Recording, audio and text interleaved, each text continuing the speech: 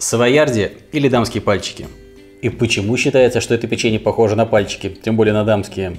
Всем привет, с вами я, Дмитрий Фреско. Вы смотрите кулинарную пропаганду.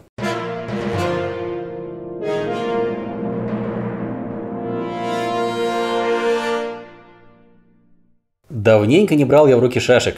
Ну, вернее, давно не показывал вам ничего сладкого. Однако сто лет назад я уже обещал снять ролик про популярный итальянский десерт тирамису. И уже собрался был его снимать, но подумал, в этом десерте используются те самые савоярди. И если в крупных городах нет особенной проблемы купить те самые дамские пальчики, то вот во всех остальных городах и весях это может стать реальной проблемой. Но с другой стороны, готовятся эти самые савоярди крайне просто и быстро. Поэтому пройдем на рабочее место, все расскажу и покажу. Хотя подождите. Когда я сутки напролет сижу за компьютером, монтирую очередной выпуск кулинарной пропаганды и голова уже не варит, лучший способ разгрузить мозги – это посмотреть какое-нибудь отвязное шоу. Я знаю, что многие мои подписчики уже смотрят этот канал, Однако всем остальным советую, подпишитесь на канал самых безбашенных парней, лучше увидеть их сумасшедшее видео самому, чем услышать от друзей. И также, кстати, им можно предложить челлендж для выполнения. Скучать явно не придется. А вот теперь пройдем на рабочее место и приступим. Итак, Савоярди или савойское печенье было придумано, по крайней мере, как утверждают доступные мне источники, еще в конце 15 века, при дворе герцогов Савойских. Представляет оно из себя обычный бисквит, разве что пересушенный и поэтому очень такой воздушный и хрустящий. Для приготовления понадобится 3 куриных яйца, 100 граммов сахарной пудры, я готовлю ее из сахара, вы можете для этого воспользоваться кофемолкой, и 75 граммов пшеничной муки высшего сорта. Чтобы белки легко взбивались, они должны быть хорошо охлаждены. И яйца нужны свежие, это очень важно. Старательно отделю желтки.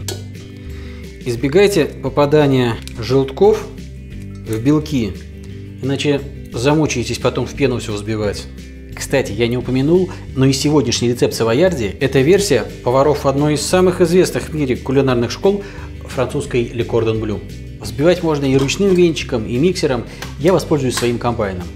Пока не появилась пена, скорость нужна самая низкая, иначе могут ваши белки стать жидкими. Потом уже можно будет скорость увеличить. Пока белки взбиваются, я отдельно немного взобью желтки. Начинаю понемногу добавлять пудру. Торопиться тут не надо.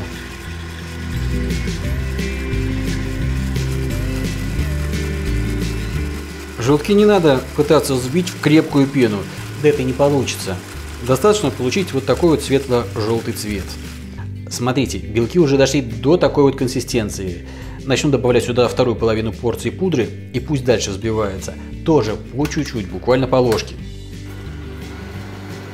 Белки надо взбивать до блеска.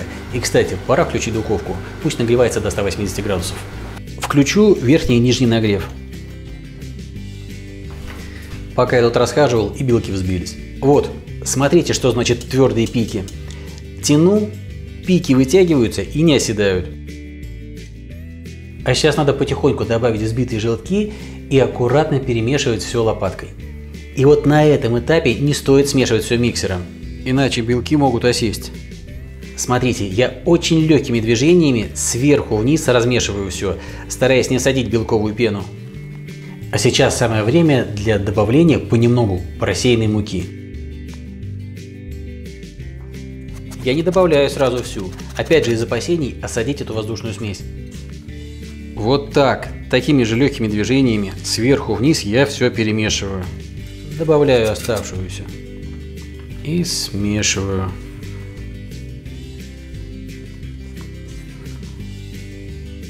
Торопиться не надо. Ну и затягивать процесс тоже никакого смысла нет. Вот так, отлично. Для осаживания теста на противень воспользуюсь кондитерским мешком. Если у вас под рукой мешка нет, можно сделать его из полиэтиленового пакета, отрезав уголок. Диаметр кончика мешка для этих печений нужен сантиметра полтора-два. Теста из трех яиц у меня хватит примерно на два противня.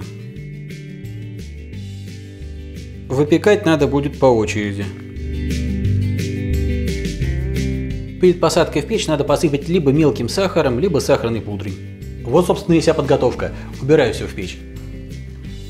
Ставлю в печь и закрываю духовку.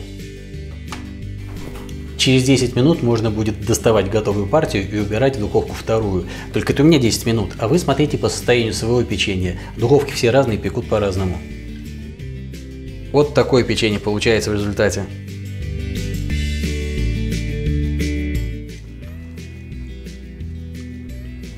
Очень воздушная, очень нежная, буквально застывшая пена. Да, пальчики, которые предоставила дама в качестве примера, похоже, это пальчики робинсовской женщины. Но на мой взгляд, на самом деле, это печенье называется дамскими пальчиками не потому, что оно имеет форму отдаленно похожую на пальчики, а потому что оно очень нежное, тонкое, я думаю, это аллюзия к нежному прикосновению аккуратных женских, женских пальчиков. Смотрите, какое хрупкое.